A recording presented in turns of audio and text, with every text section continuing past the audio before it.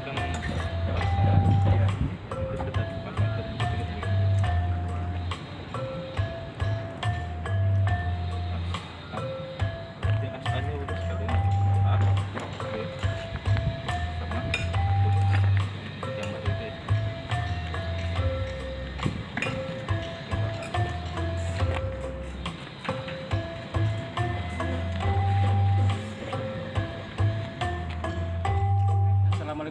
warahmatullahi wabarakatuh. Salam jumpa lagi bersama kami channel PM Kupra ya. Oke, para sahabat Kupra, sini kami akan berbagi cerita dan pengalaman tentang koplang dan sampel atau survei ya untuk menentukan nol dari sebuah bangunan. Oke, kita akan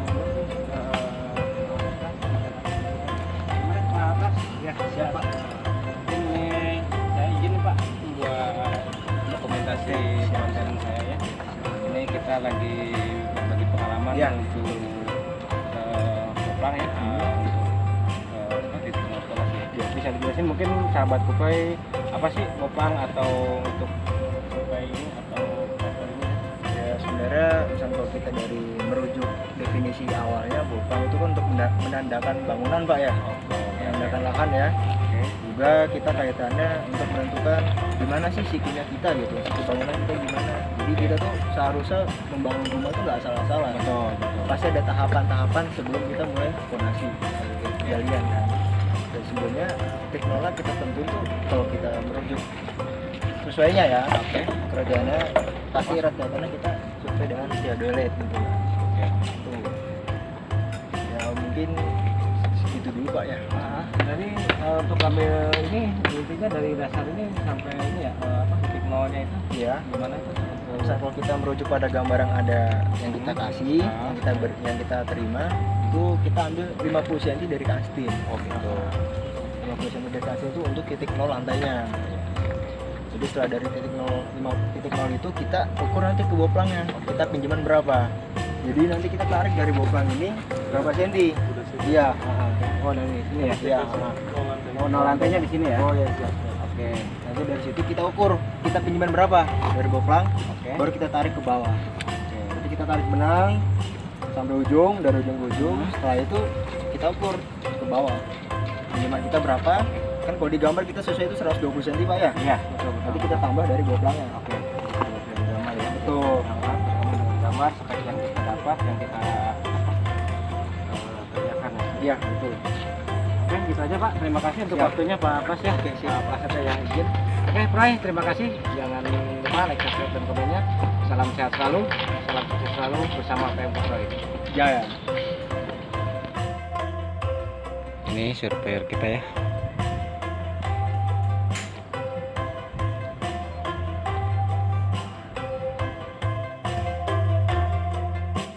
Oke, sahabat Kubai. Ini di sini kita cari titik nol untuk lantai rumah ya, fondasi. Kita boplang setinggi 1 meter ya. Kurang lebih eh, fungsi kita 70 cm kurang lebih eh, tambah slope 20 cm eh, tas ramnya 35 cm ya. Oke kita selalu dihadirkan pengawas dari Ciputra atau Citra Sentul Raya ya sebagai developer dan kita dari PT Pitagoras sebagai kontraktor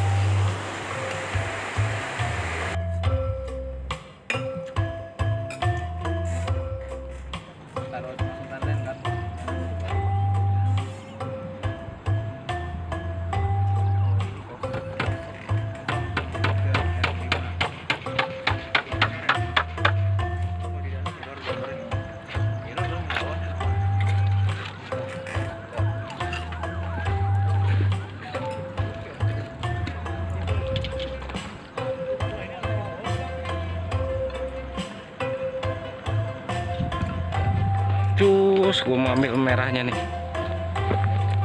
Coba merahnya.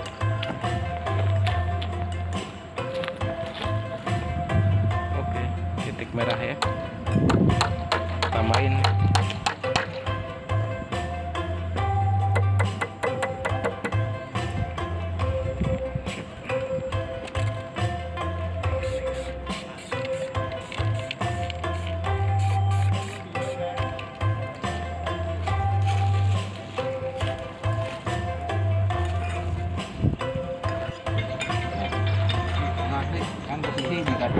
Berapa bro? ASB ya bro ya? ASB.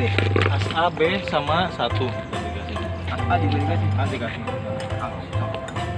Amat karena itu parapen. Oh ini nih.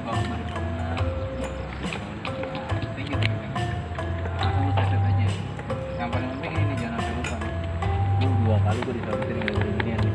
Ada tulisan karpet. Iya. Dapat balik. Iya, balik dua kali gitu. Iya, ada tulisan karpet.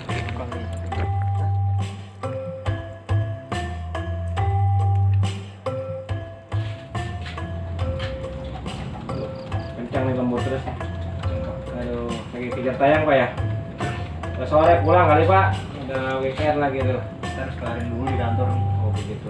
Jadi besok. Kita terus. sekarang kerjaan kita besok kerjaan kita juga ya? Iya. nah ini selesaikan mumpung masih ada waktu.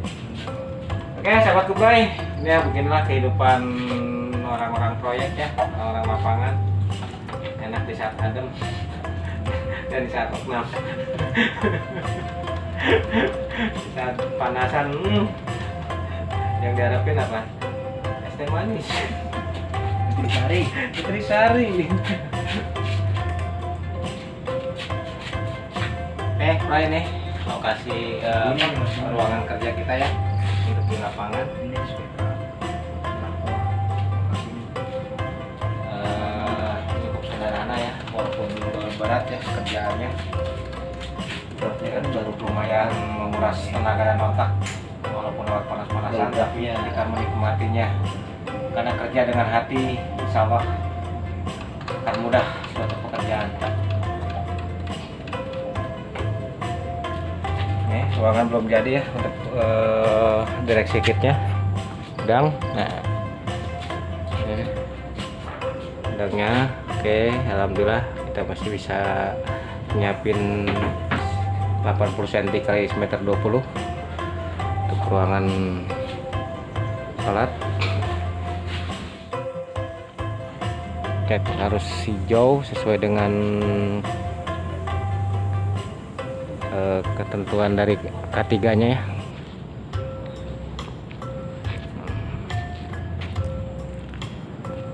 Oke, Bray. Terima kasih. Salam sukses selalu. Salam Kuprai seluruh Nusantara.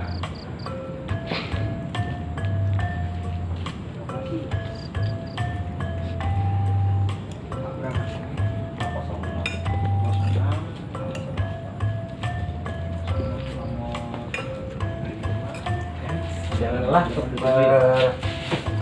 karya karena karya kita adalah tulang usaha. Esok ada aktivitas, esok pula ada cerita. Akhir kata, wassalamualaikum warahmatullahi wabarakatuh.